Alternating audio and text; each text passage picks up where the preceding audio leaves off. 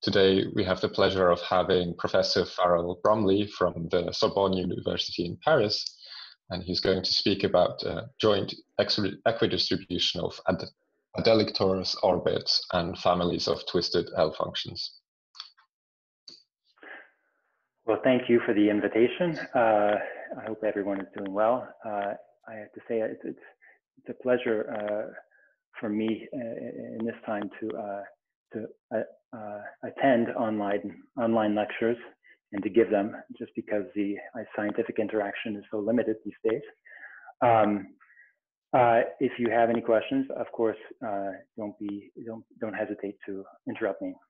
Uh, so I'll be speaking on uh, some variants of uh, uh, a very popular question in um, analytic number theory and ergodic theory, Linnik's problems. And so I'll start by, um, if I can, there we go, recalling some of the class, classical versions. So the first Linnik problem uh, has to do with uh, primitive integral uh, points on the on the sphere, the D sphere. Um, so Legendre was a, was the first to give a criterion for the for when this set uh, of integral solutions is, is non-empty, and that it is non-empty precisely when D uh, um, uh, is not congruent to, to 047 modulo 8. And uh, moreover, um, uh, because this set is actually uh, quite intimately related to a class uh, group. Hi, so Farrell. Uh, just so as to try have everybody participate, which is my job. Uh, according to uh, Weil, actually, this really was not proved by Legendre, by the way. you should read the history, and then Sarah also writes about it. It's, it seems uh, that Legendre claimed that Gauss proved it. At least that's my story. I see. I see. Yeah. Okay.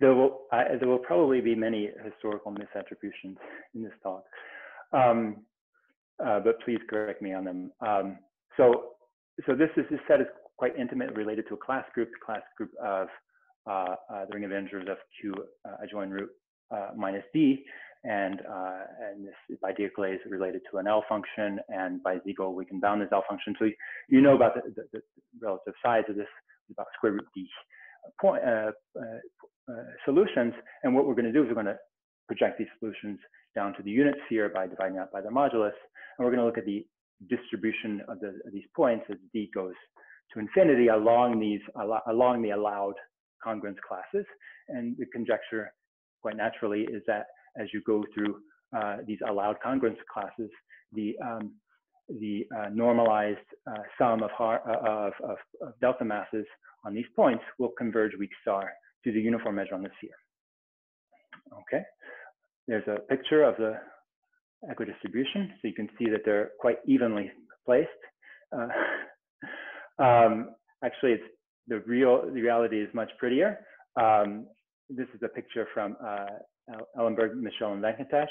Uh, these are the, uh, the integer points, not the primitive ones, of norm uh, uh, some big number projected onto the sphere.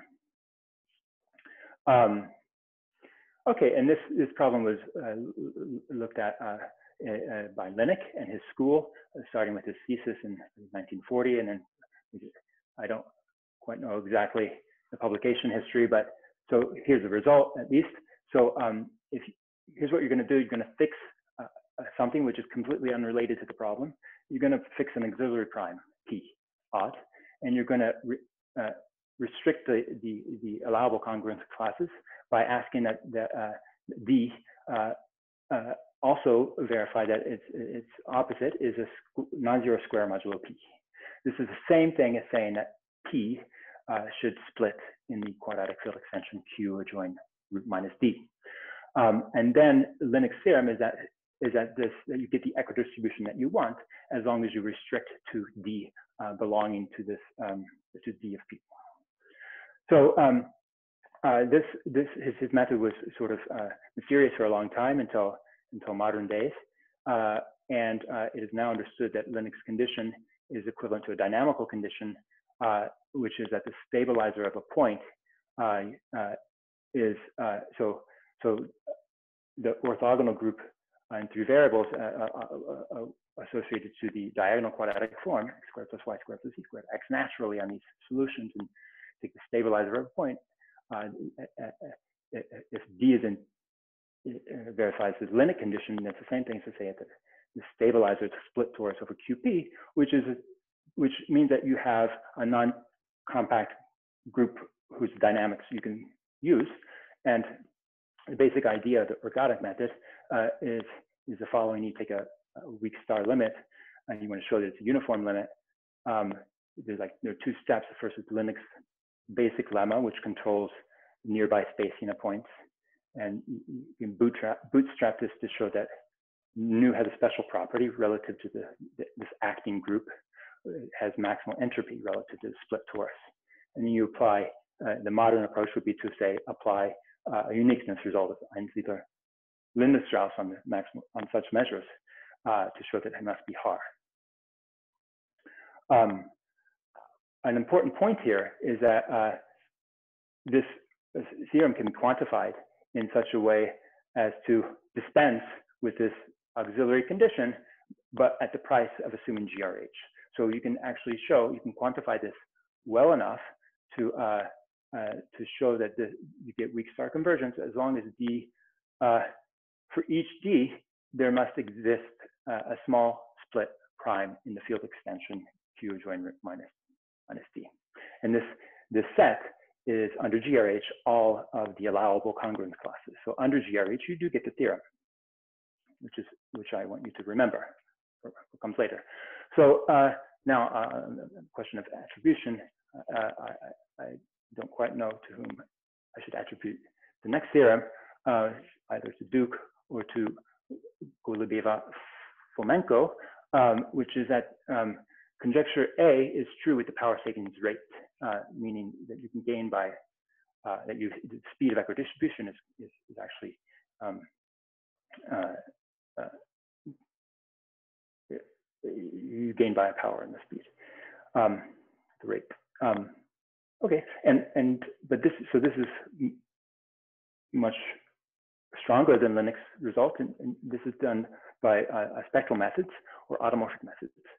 So you you write down the Weyl sums for this equidistribution problem, so you can attest the equidistribution against test functions, uh, continuous functions on the sphere. You can assume that they're orthogonal to constants, and it's enough to test this on an orthonormal basis of L2. Um, and uh, we can choose our own orthonormal basis and we'll choose an arithmetic one. And to do that, you want to realize the sphere, the sphere arithmetically.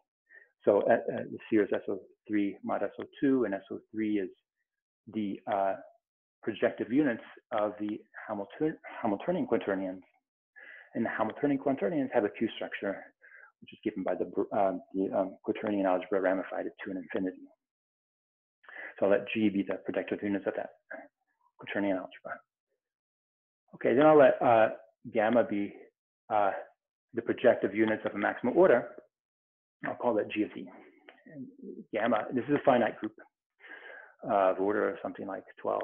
Um, it acts on uh, our solutions by conjugation, and we can sort of mod out by that action, uh, taking classes modulo gamma.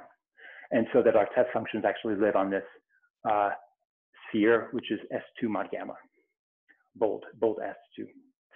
And uh, bold S2, the bold sphere, is actually uh, can be given an, an adelic description uh, via this, this algebraic group G.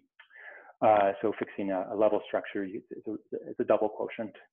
Um, and uh, you can take an orthonormal basis of the sphere, which consists uh, of spherical harmonics, such that upon adelization, uh, the functions you obtain are joint eigenfunctions of the Hecke algebra. This is just a fancy way of uh, describing uh, um, the Hecke operators on the sphere that were introduced by uh, Lubotzky, Philip Sarnak. Um, and uh, not only that, so the next thing we want to do uh, is, is, to adelicize the, the Weyl sum itself. so this these classes RD mod gamma is a torsor for a, a, certain class group. So once you fix a base point, You can describe the, all the points by the orbit, so it's the principal homogeneous space. Um, and in fact, it's the torus, uh, an adelic torus integral uh, orbit. Um, so the torus is just restriction scalars from uh, your field to Q. Once you fix the solution, you get an embedding of this torus into your group. And if you fix the uh, level structures, you can describe uh, the points on bold S2 um, that you hope to show equidistribute as a, an adelic torus orbit that I'm calling Z, Z sub D. Uh, so finally, the upshot is the last slide. I can use my cursor uh, to uh, the, the Weyl sum is a, written now adelically uh, over an adelic torus orbit. And the reason why we do that is because, well, we want to apply tools in representation theory. Um, and so we want to apply Waldspurger and, and, and other work involving like test vectors. Um, which I mean, if that, I may say something, uh, given that you're moving to uh, a very general setting here using all yes. machinery, um, the difference between Duke and uh, Gobel Juba uh, ah. is that for the for the exact problem you wrote down, by some miracle, it's an easy calculation. You don't need to prove things for uh, half integral weight forms of weight three halves itself. And Iwaniec did five halves and higher, so you could get by in that specific case without proving anything new. But you, that situation was completely unsatisfactory, and Duke completely changed that by doing all weights and indefinite forms. So he, uh, by uh, developing Iwaniec in a much more general and mm. powerful way. Okay. So they just quoted his theorem as stated. Right. Okay. okay I just want to clarify that because often many of us give Duke credit. Yeah.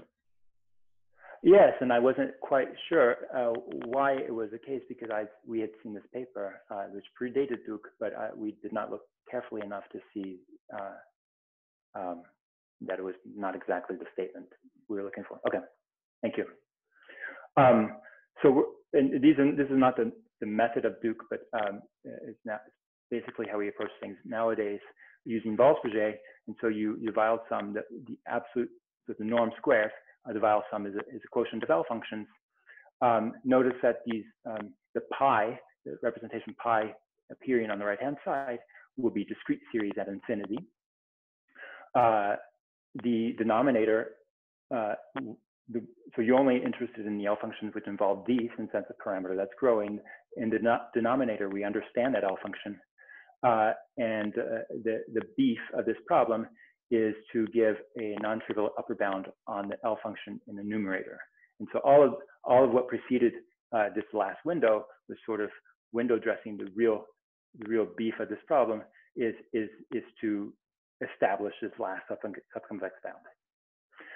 Okay, so there's a second Linux problem, uh, which was uh, which is studied uh, by Duke, uh, which involves um, uh, Heegner points so I'll describe these in the following way. I'll take a look at the uh, primitive binary uh, quadratic forms um, of discriminant minus b uh, uh up to uh, up to SL2 up to equivalence by SL2z.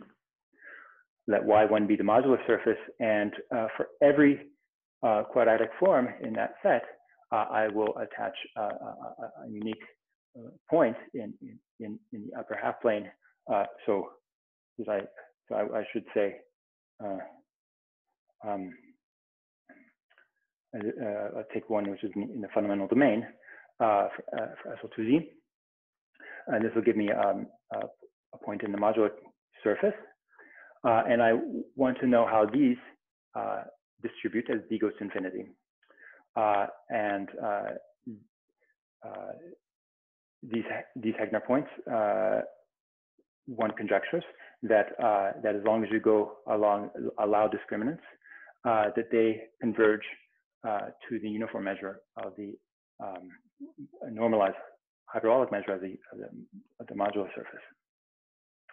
And and Linnik Linnik uh, looked at this as well and solved this problem under the same condition, namely that you have to impose an, uh, an auxiliary condition that, that minus b minus db is square, non-zero square modulo p.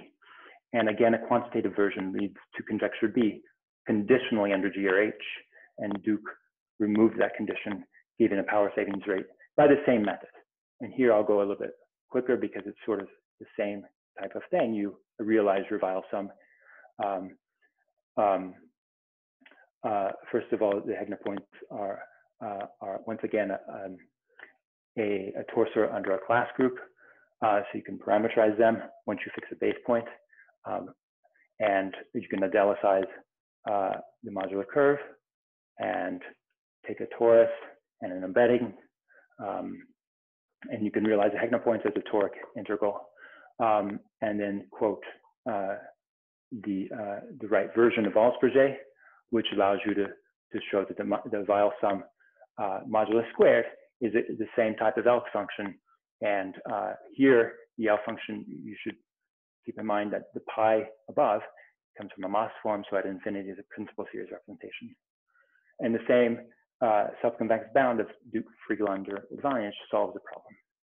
And again, that last line is the heart of the problem, the subconvex bound. Okay, um, so there are other variants. Just again, um, since, uh, the history of this is quite interesting and often misrepresented. Uh, the proof of Duke and Iwaniec, the original proof, did not use Waldspurger. It used an embedding method that uh, is due to Iwaniec, which is directly estimating Fourier coefficients of half integral weight without using L functions. That's right. So uh, that's right. This was the second proof. Yeah. Exactly. Yes. This this proof that I'm presenting is sort of the second proof. It's the proof I I like better uh, um, using L functions. Um, okay. So um, it seems to generalize better. Um, uh, so there's, there are other versions. Uh, we, I, I, could go on and on, um, and I will for a little bit. Uh, so there's sparse equidistribution. You can these, the points that you're looking at are, are are principal homogeneous spaces under the action of, a class groups. You can you can, for example, look at large enough. Uh, so, so subgroups of large enough uh, large enough um, index in the class group and to look at their orbits and see if these uh, the sparse set of points also equidistributes. And for that, you'll need twisted Weyl sums. The numerator becomes a more complicated L function, and you'll need more advanced subconvex bounds, like uh, those by Michel.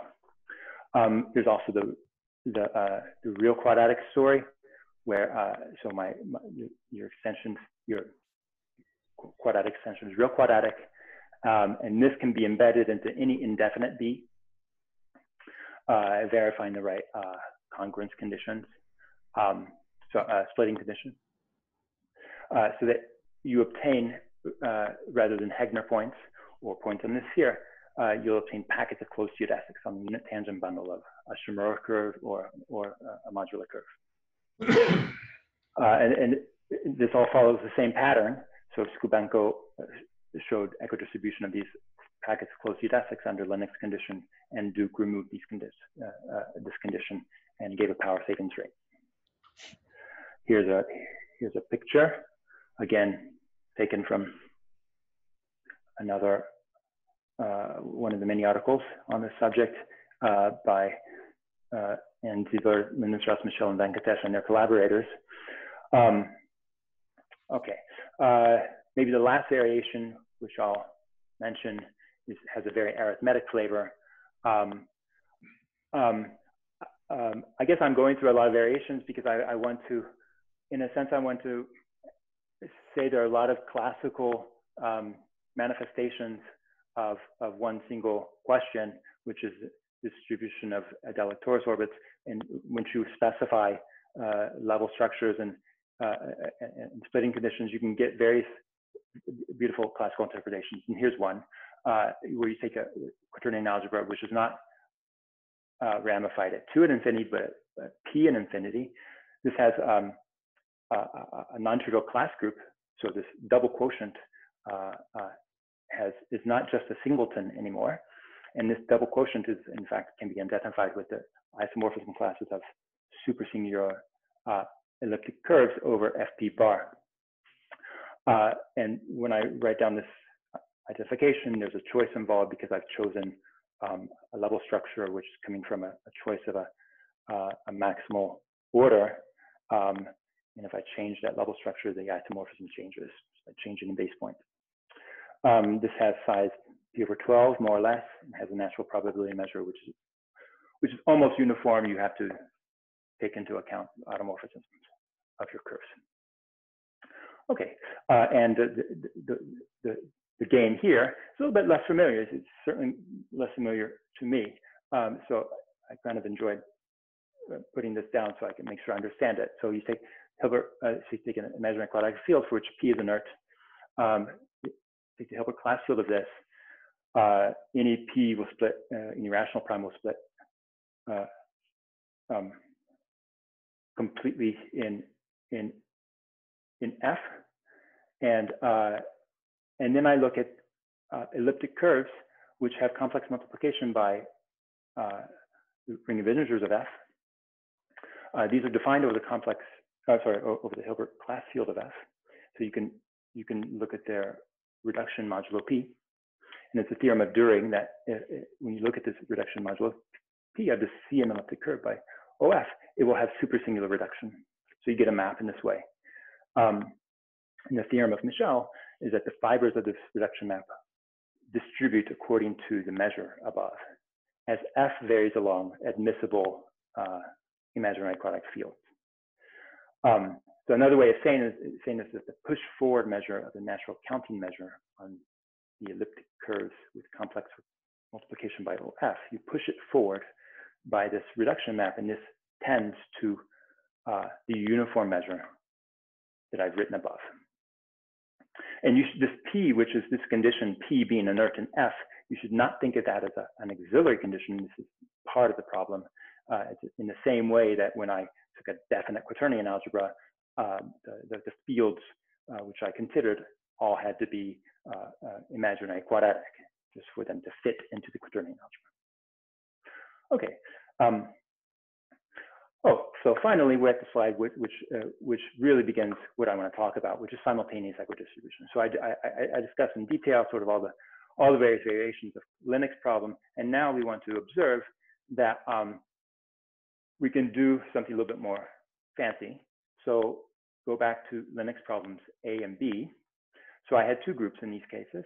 I had G1, which is projective units of the Hamilton quaternions, and I had G2, say, which is PGL2. And for each D, uh, uh, admissible D, I get um, two embeddings one, uh, of, of, of a torus, of, of uh, restriction of scalars, of Q adjoint root minus D, into both G1 and G2. And so we can construct uh, diagonal maps into the torus into the product. and you get this diagonal cycle of ZD into both uh, uh, you know ZD equidistributes in each copy, and you want to ask, does it equidistribute, equidistribute uh, in, in the product? And you expect it to do so because the spaces S2 and Y1 come from two very different sources, two non-isomorphic quaternion algebras. So that's, that's what we want to look at. And I want to now go in the opposite direction. I want to make this classical. So making this classical, I, am going to do this because uh, uh, using the work of um, a paper of Aka, Einsiedler, and Shapira, who, who explain this beautifully. So um, I'm going to look at the modular surface in a slightly different uh, way. I'm going to look at, it, at, look at it as the space of unimodular lattices in R2 up to rotation. Uh, and uh, so I'm going to give myself a, an admissible D and I'll take a, a solution, uh, uh, so a primitive integral solution to uh, uh to the, the, sphere of equation, sphere of radius d. And for such a v, I'll look at the orthogonal lattice lambda v. Um, so, and I'm going to sort of rotate it. I'm going to rotate it up to to a reference plane and normalize it to have co-volume one. And when I do those two steps, I get a, a point in L2, so the, in the modular curve. And so the, the classical description is, is, is this, and it's very nice, uh, as you run through solutions to this, to, uh, uh, to this D sphere, uh, you, pro you project, uh, simultaneously you project down to the one sphere in first coordinate, and you look at the ortho orthogonal lattice in the second coordinate, and you want to know whether or not this distributes uh, in the product space. And the conjecture, this, this was raised back in, um, in, the, in the IES, uh, IES the uh, ICM uh, proceedings of Michel Venkatesh, 2006, this type of problem. And it was, uh, again, conjectured uh, by Aka, Einsiedler, and Shapira that this does indeed equidistribute under no supplementary conditions other than the ones that are necessary. And the theorem is very uh, similar in spirit to the Linnik uh, solutions.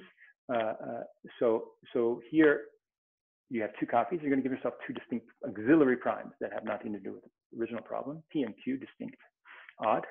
And then the theorem is that this diagonal cycle equidistributes in the product as d goes to infinity uh, along uh, the, the, the, sequence of d, which verify a joint uh, um, so they had to be, the minus d has to be simultaneously a, a non-zero square modulo p and q, and, and maybe fundament, fundamental d, so uh, square free as well. Okay, um, so this, uh, I'm going to talk more about this uh, and also indicate the proof, but I want to, uh, um, want to observe two, two important things is that aspects is that there's no quantification, uh, unlike Linnik's, Linnik's versions, uh, there's no quantification uh, available, at least for the moment. Uh, so there's no rate, even small rate, uh, and at least not enough to allow you to replace uh, this supplementary condition by GRH. So it is not yet known that this conjecture follows under GRH. Okay. So here's the idea. Um, you take a weak star, uh, a weak star limit, uh, and you show that uh, the push forward of this weak star limit uh, uh, along both projection, projections equidistributes in its copy. So this is a this is just more or less a, uh, an application of Duke Duke's theorems in each individual copy. Um, so you don't you don't encounter the congruence condition at this step at least not necessarily. Um, the second step is where you, you need it.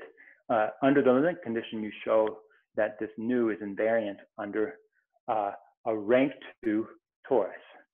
So uh, the stabilizer uh, uh,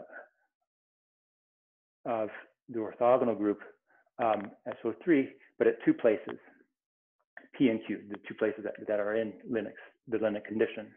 So this is a rank two uh, torus, uh, and then you apply Linden, Eisenstein, uh, Lindenstrauss, uh, which uh, says that. So, th so from one and two, you call this a joining. So nu is a nu is a joining, and and these have been classified by Einsiedler and Lindenstrauss, and they have to be algebraic. Um, so they have to be supported like on an algebraic subgroup of product. And but since G1 and G2 are distinct, there's no non-trivial algebraic subgroup containing both G1 and G2 other than the product. Um, so that's that's their theorem. Uh, and and uh, it although I we, they get they they they give the theorem in this this very nice um, example. Um, in fact, the theorem applies to all hybrid situations. For example, there's this, there's this new paper on the arXiv, which is very beautiful. Um, and uh, and it's a hybrid, so it's a simultaneous reduction, uh, simultaneous supersingular reduction of CM elliptic curves. So I have four distinct odd primes. The first two are essential to the problem, and the last latter two are, uh, are auxiliary. So um, I, I reduce mod P1 and mod P2, and I expect the push forward of this uh, uh, counting measure um, to equidistribute uh, in the product. as d goes to infinity, and they show that it does so as long as you, as long as the d verify the two auxiliary, um, auxiliary congruence positions modulo, uh, uh, modulo Q1 and Q2. From, so they, from what I understand, uh, uh, if you could do two copies, you can do n copies, um, pairwise non-isomorphic copies. They certainly do so in this paper, uh, 2020 paper, um, and it seems to be a quite a general feature. Uh, and I'm not going to mention uh, very deep work uh, by Khayutin on the mixing conjecture, where you don't take uh, G1 and G2 distinct, but you take them the same and and and uh, and you twist the second variable and you ask a, a more complex question, and uh, you have to. Um, but uh, this this was solved by Khayutin uh, in 2019 um, under uh, the assumptions that you see there. so auxiliary congruence conditions and on Landau zero assumption. Okay. Um, so now I'm finally getting to my theorem, uh, and uh, uh, we had the proof, and hey, once you had the proof, you had to go back and figure out what what the statement of the theorem is. so I, so I, am trying to get the theorem in the most general context that we have. Uh, um, so, um, but I want you to notice maybe the first line is that I'm so I, am thinking B1 and B2 over Q, non-isomorphic, and I'm also assuming that neither one of them is a split quaternion algebra because we haven't yet uh, figured out how to do make our method work uh, with Eisenstein series. So both of them are non-split. So in particular, nothing that I say from now on will apply to the to the um, uh, the, the, nice uh, case that that Aka, and Shapira wrote down. But I hope that we'll res resolve this soon. So you take B1 and B2 non-isomorphic and you, you look at their uh, uh, projective unit groups, and I'll just call G their product. So I'm going to be looking at the equidistant distribution in G. And I'll have some level structure, which I'm taking to be an Eichler order given by Eichler orders. Um, uh, and I'll take projective units of these Eichler orders uh, in each copy, and I take their product. That will give me my level structure in the product. K infinity is SO2 twice, and X is uh, the product uh, curve. And now, uh, now that I, now I'm going to look at uh, tori, uh, which uh, are given by field quadratic field extensions, and I can take uh, imaginary or real quadratic field extensions, uh, discriminant d, optimally embedded into um, my um, my OI. Um, and from this, I, from this choice of optimal embedding, I get an, a diagonal embedding from TD into G. So this diagonal inclusion. Uh, I conjugate the uh, K infinity to make it equal to um, the real points of T. And I get this diagonal cycle. Um, which you can write adelically in this way. But it's, uh, so this is the adelic way of writing, say, the classical situation uh, of Aka and Einsiedler and Shapira. And our theorem um, is, is the following. So the principal assumption is GRH. And under GRH, uh, you get equidistribution with a, with a logarithmic rate. Okay, and, and our, our proof goes to the theory of automorphic forms and Waldspurger's theorem um, in, in, in, in, a style very much reminiscent uh, of the one. Yeah. Uh, Farrell, since there's a little discussion going on this, this is just for two factors, ah. right? So I haven't been been looking at the. Um, uh, uh, at, no, no, no, you don't have to look. Yeah, I'm asking yeah, you a question. Yeah, thank, yeah, thank you. You thank can't you. do more than two factors. We cannot. So, so you know, I, I, no, we cannot. I had a I had a glimmer of hope at one point. Uh, I because uh, maybe I can not. Uh, we can discuss it. At I need to mention it. So, so the the fact is that, like, I mean, if you look at the n copies uh, proof, I mean, you basically bootstrap it from two copies. As long as you have it for two copies, you can get it for n. we can do two copies uh, under GRH.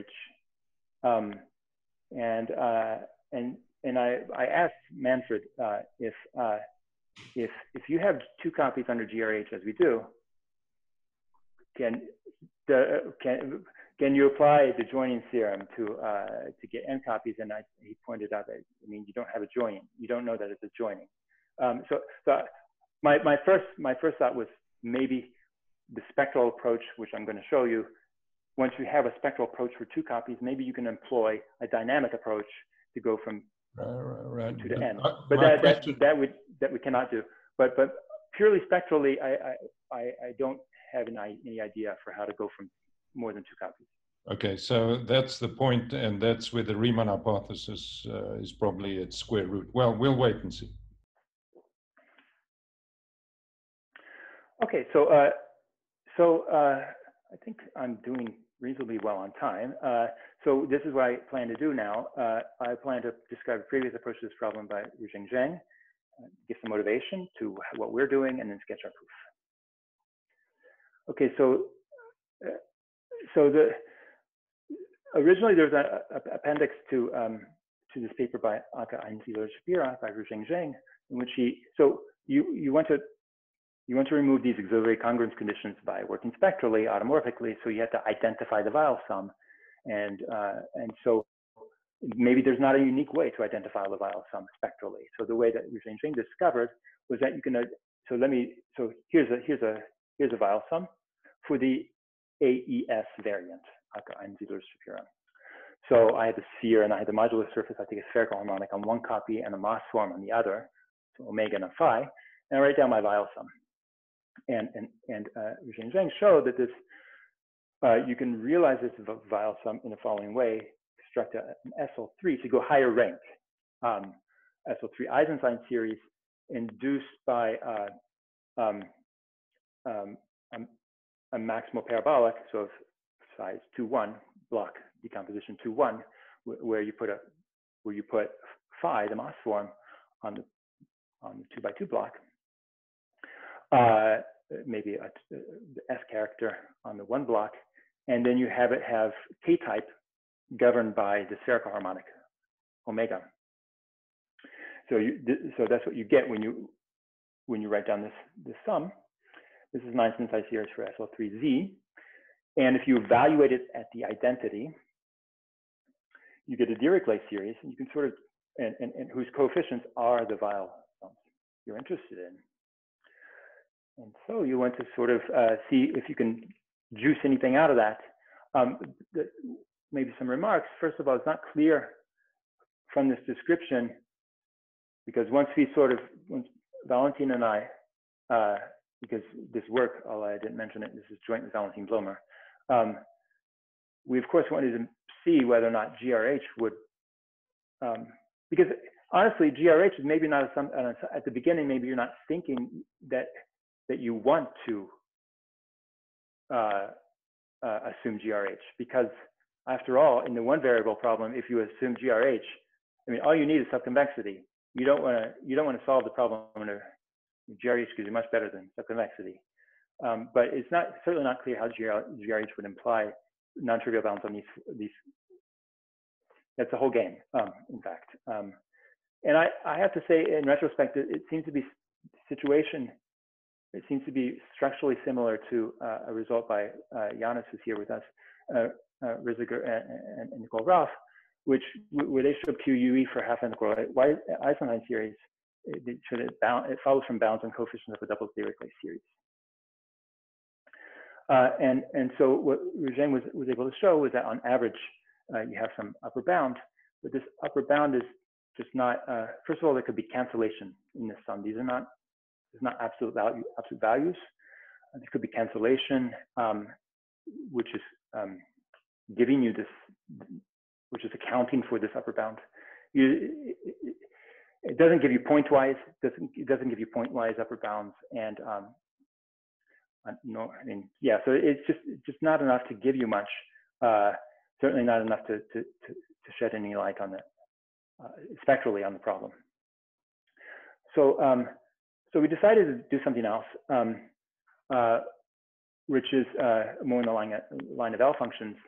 Uh, and uh, the first thing to remark is that um, each individual inclusion of the torus into its copy is what's called a, a strong Gelfand pair. So you take any, uh, um, if you look at the, uh, the dimension of the Hom space between any uh, irreducible admissible representation of the p-adic group uh, and, and, and chi p, a character of the torus, it's, a, it's at most one. Whether it's one or zero sort of is a deep question uh, using uh, having to do with epsilon factors. Um, and uh, it's called the multiplicity, multiplicity one result, and it lies at the heart of Waldspurger's formula. Um, and, and when you have this type of result, um, the toric period is, is often related to a single L function. But we no longer have this strong Gelfand pair for this diagonal copy of the torus inside the product. But what we do have, uh, it has a special name, uh, it's called Gelfand formation. So uh, although although the um, diagonal copy is, is thin within the, di the diagonal, sorry, although diagonal copy is thin within the product, G1 cross G2, uh, you can put an intermediate layer into this inclusion, which is diagonal in, embedded into the product of the two tori embedded in the product of the two groups. Uh, and at each layer of this tower, it, it's a Gelfand pair. Uh, and this is called a Gelfand formation, at least by, uh, by Andrei Reznikov uh, in, in, in uh, his papers. And when, when you have a Gelfand formation, you expect uh, the period not to be related to a, a, single L function, but a family of L functions. Um, so let's see this in action. so I'm going to, for the rest of the talk, just take my FD I can take it if I want to be real quadratic, but it's a little bit more complicated. Let me take it to be imaginary quadratic. There I know what the, how, how, how the class group is. Uh, the Weyl sum, I will, so if you remember my F1 and F2, those are my classical uh, functions, and I adelicize them by phi i. Okay, and so the right-hand side is sort of the adelic uh, inner product over uh, the class group. Um, and our main estimate is that this Weyl sum decays logarithmically. Um, um, and uh, so I, am going to view this in a product, I'm going to view this as an inner product of a class group, and I'm going to, I'm going to apply Poincaré.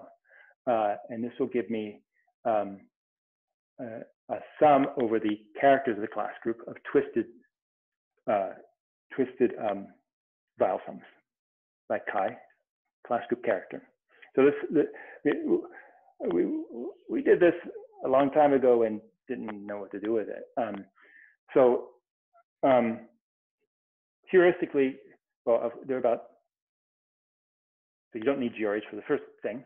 Uh, there are about uh, square root d terms in the sum, and then under GRH, you might expect, and I'll say why, uh, that each term is about d to the minus one half, uh, and uh, so you need to win somehow. Um, well, you might hope for cancellation, um, which is okay between the two, um, which uh, in the end would give you, like you might conjecture that this would be its size at most, more or less d to the minus one quarter. Um, but there's really no way to access this type of information. Neither, neither the uh, the first one nor the second one. Um, so the first step we're going to do is very crazy. Um, it, will seem less crazy uh, based on experience from the last 10 years. Um, but uh, uh, if, if, if, before Holowinsky, this would certainly not been, uh, it would have been a very surprising thing to do. Uh, we're just going to avoid all cancellation. Um, and um, and uh, we're going to assume that, uh, of course, we, we can we, we, can allow ourselves to assume that this uh, that the terms in, in, the sum are non-zero.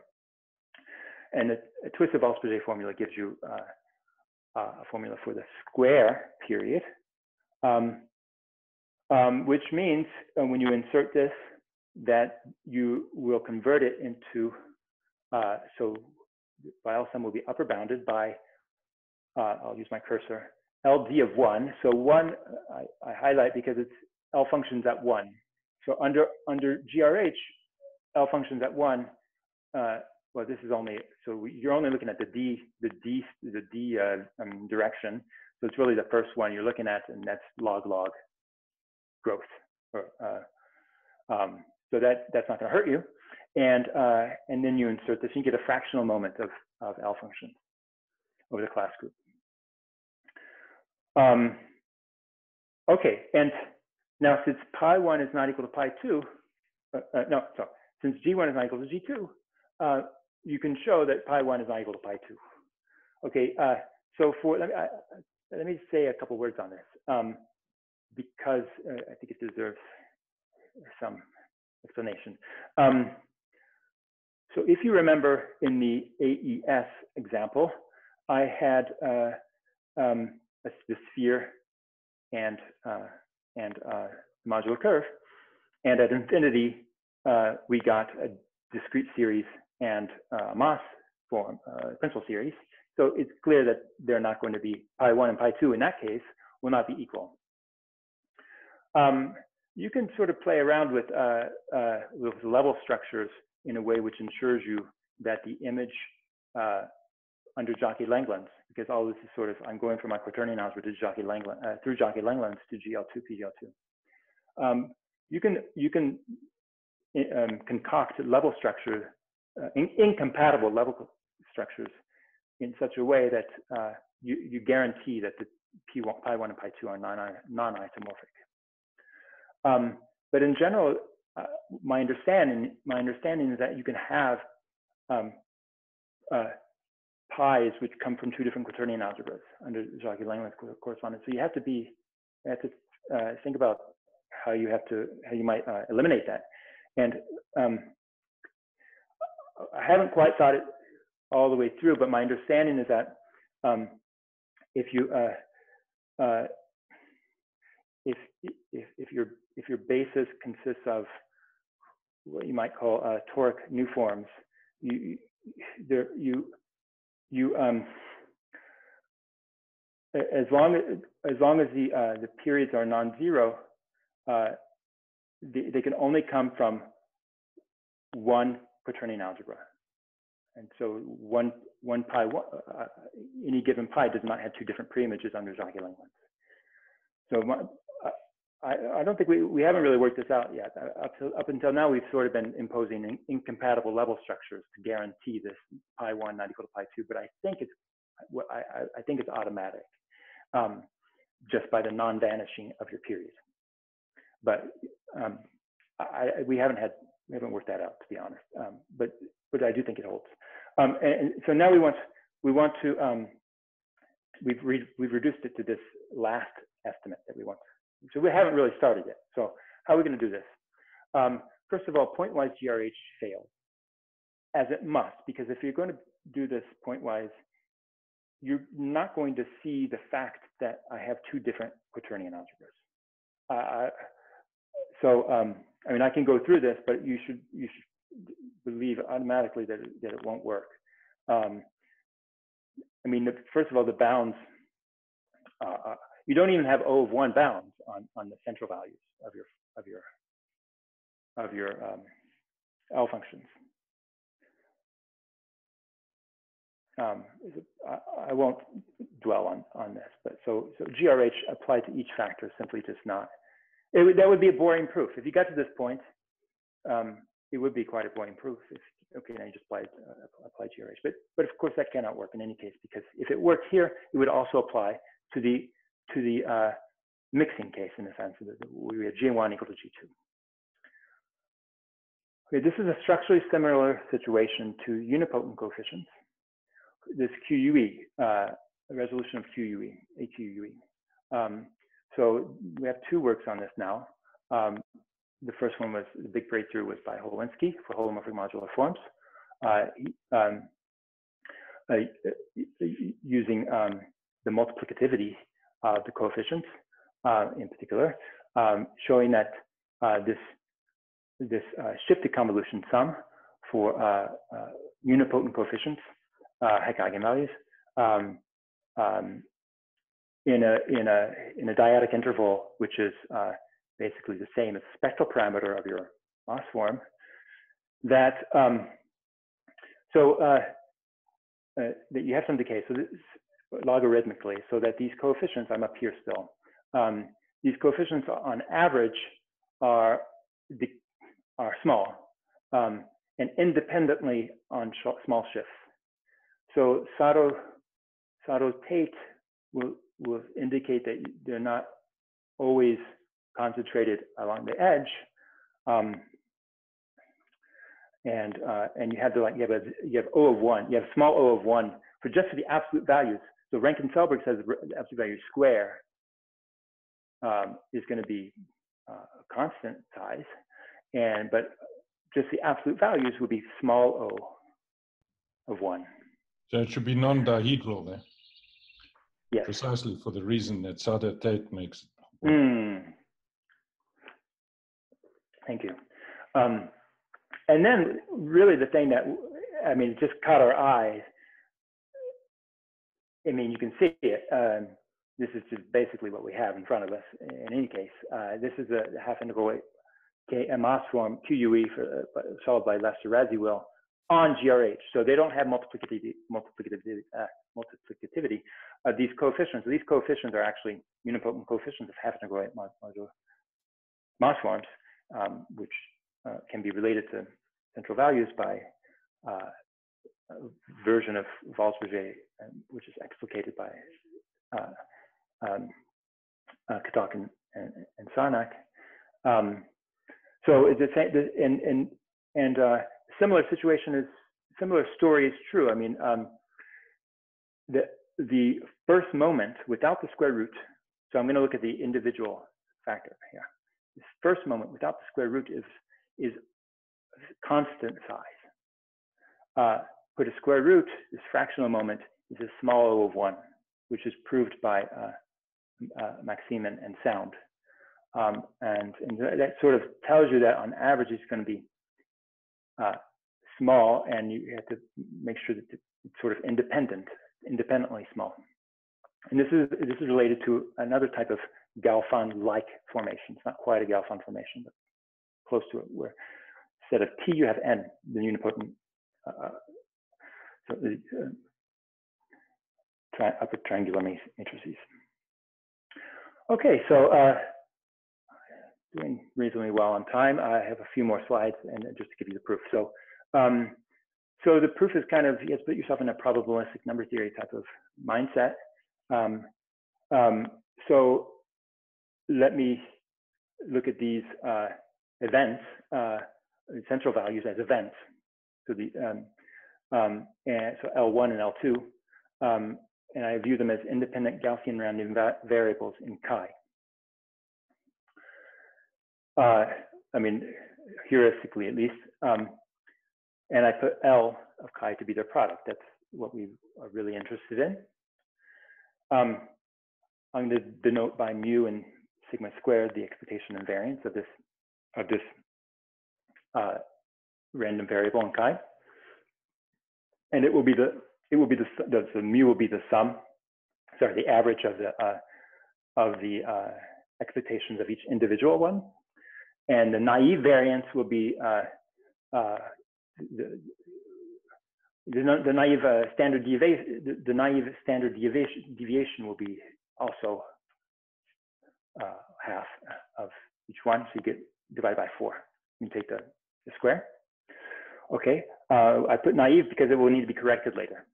Um, um, and then, um, so the, the, the point is that you can calculate these variances and expectations under GRH because uh, the L function under GRH um, it can be approximated uh, by so so the L function to the right of the critical strip is equal to its Dirichlet series expansion, but under GRH some form of that is also true. Um, um, and so you can you can upper bound, for example, the uh, each individual logarithmic L function by some short sum of, of uh, uh, short Dirichlet uh, sum uh, so I have, I have what I have. I have um, p up x at the uh, coefficient of pi i. Pi, pi is fixed. I'm really looking at the, the variation with chi. And a chi is the coefficient of, of the um, of the sort of the theta series induced from chi down to down to q. Um, very simple to write down. I just didn't write it down for lack of space. And then the second term is um, now I, am going to p, p, squared up to x under for, for split primes, um, and I get the, the p squared terms. And the inert primes actually can be um, uh, uh, can be evaluated is actually in, independent of chi. Can you can evaluate this independently of chi? And I write it as mu i. It's simply the it's simply the expectation uh, of mu i. So the mu i is the, the mu i is the, the contribution from the inert primes. And the other, so the, the first two sums are, are, the only two which actually depend on chi. Um, and you can, so their mean is certainly zero just by orthogonality of characters. Um, but uh, I guess the thing I want to just to to say is that the important feature is that once you once you run this this heuristic, um, you can calculate the exponential of mu plus uh, variance over 2 to be the bound that we're hoping to show. So in a sense, I want to show you that I want to arrive at this, this quantity here. And if I can arrive at my estimations at this quantity here, I'll be done. I just have two steps, uh, two, uh, two, two pages and uh, two slides, and I'll be done. Uh, some standard manipulations in um, analytic number theory to start. So by partial summation, I can write my um, um, my joint Weyl sum. This is my this is my fractional moment. Um, in this way, where I'm I'm picking out uh, how many times chi, how many times, uh, how often this random variables. I'm looking at the tail, the tails of these this random variable. Um, and I'll, I'll recenter it. So I really want to see how, when is it, when it, how often is it uh, uh, larger than the mean? So that's, that's my N of V. Uh, then I'm going to apply uh, um, um, some sort of Markov inequality for higher moments. Uh, so uh, for any K, I can bound the thing I'm interested in by, by this two case moment, of this uh, different.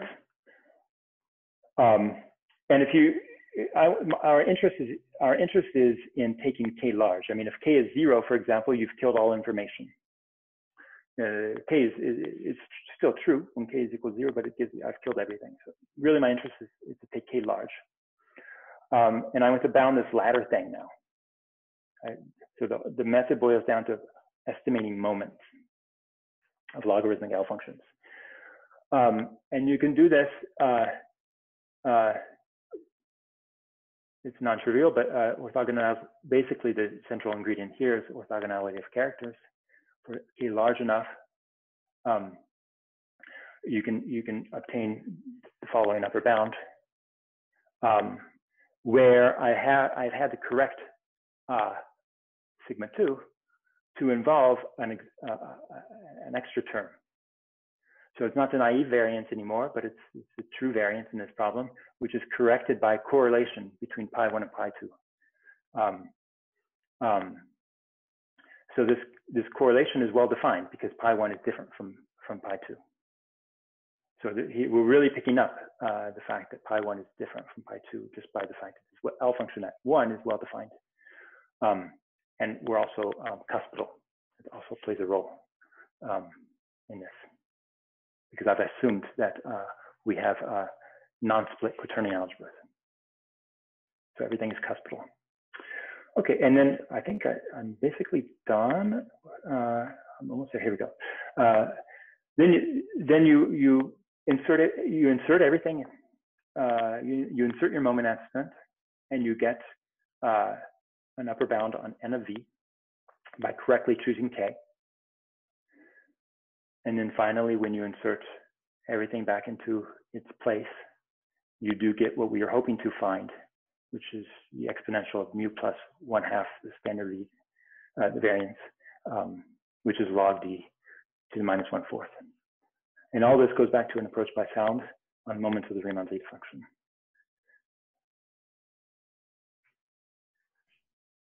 And I'm all done. Thank you.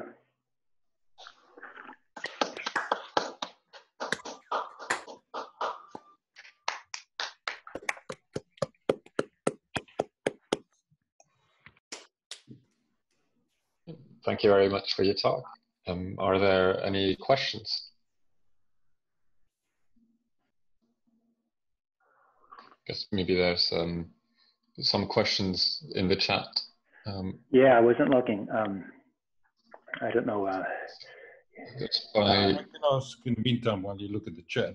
I don't. Uh-huh. uh, beautiful lecture, beautiful result. Um, let me ask this: uh, Do we know for sure that the Weyl sum for the joint just for two is not some period formula of a Böcherer Böcherer type for Siegel type L function. This was mm-hmm. what, uh, this is how Ruixiang Zhang got involved in that, in interpreting mm. the Weyl sum as an Eisenstein series. But uh, what he was looking for, and it wasn't clear to me, I don't understand the periods sufficiently well. Are we sure that this isn't a period and that it would be some other L function for which that complexity would give it? Do we know that? No, I mean, uh, it's something I will, we will think about, but um, it's not something we thought about in, until now. So what you're saying is new to me. Um, so some of these um, uh, Gross Prasad people who know these conjectures accurately might know better. Yeah. Uh, when we were looking then, it wasn't clear. Yeah. Uh, I, I, think it's very unlikely to be a the L function. It might be expressed as another period on a different group. Uh, but not I, individually, not one. So it wouldn't be a clean, uh, so to speak, I, where you just applied Lindelof directly. Because right, uh, I think it, it wouldn't be an L function. I think that uh, that seems very. Um, we would have noticed okay. Uh, okay. Yeah, I mean, I think you can prove in a certain way that there's not an L function formula. I'm just thinking, like, I mean, not to like bring everything possible to the function field example, but like you know, certain cases of this that we understand well in the function field, and you can like see how it varies with like different looking at different shifts in the class group, and you can just see that that's not a behavior that any L function has. So like it has some somehow different geometric behavior than L functions. So there can't be even like a really really well hidden L function formula. From, from the chat, I uh, understood you can prove in the function field the analog of this. Well, in, in, in, in one very special case, you, you can do this, but it's somehow a different case than the case, um, like the, the case of two so, so, so split primes, the case where the dynamical methods work. Um, but it's like it has to be specifically a specific function, it has to be specifically GL2, and sort of you only get Eisenstein series terms because there's no custom formula in this case. This is the work of, of Shende and Tsimerman, and then some additional stuff building off of it. So you can you can do this sort of different direction. Um, but like yeah, one of the things you can see by this is you can see, I th- yeah, you can see that it, it sort of differs in a, in a key way from from being just a single L function value. Okay, thank you.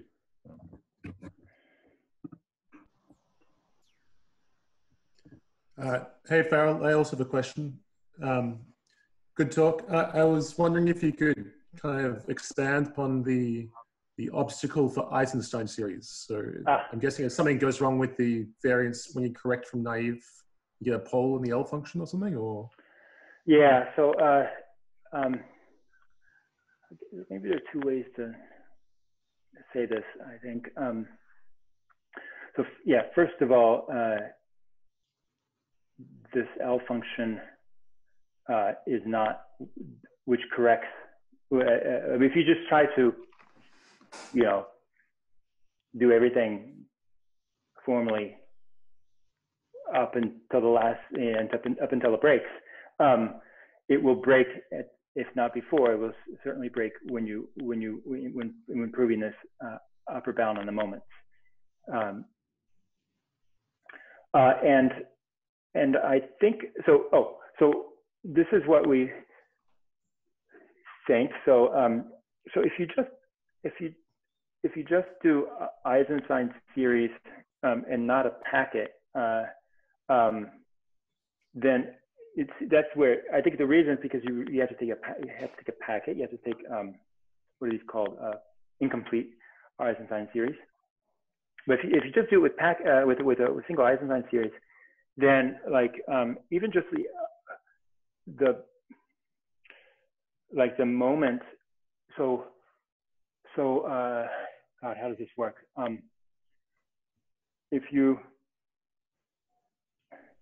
you want to apply the Hecke period, and not Waldspurger's. Um, and heuristically, the Hecke period over over over uh, uh, the moment, also over uh, just the first moment over the class group, that will decay. So that's fine. Like, but the fact is we have to take absolute values. So we, we would be looking at um, the absolute value of, uh, of the Hecke period averaged over, uh, over class group characters. And that, uh, at least heuristically, uh, is um, does not decay, uh, at least for uh, um, for a single Eisenstein series. But if you take a packet, so an incomplete Eisenstein series, then we think we can make this work because there are basically we saw we saw some papers which seemed to be relevant uh, um, mainly by Mark um, Munch, Munch rather, um, who seems to develop the the the, uh, the sound uh, this moment method of sound for um, for incomplete Eisenstein series, um, and it, it, it, so I, I think there's something in the literature there that we can sort of uh, borrow from for for that case but de definitely you have to, I mean, just a small, you, you, it seems like you do have to take incomplete too. But, but yeah, I hope, I hope that that will be, I, I, I, I hope that we'll be able to do that soon rather than having it treated somewhere else. So. Thank you.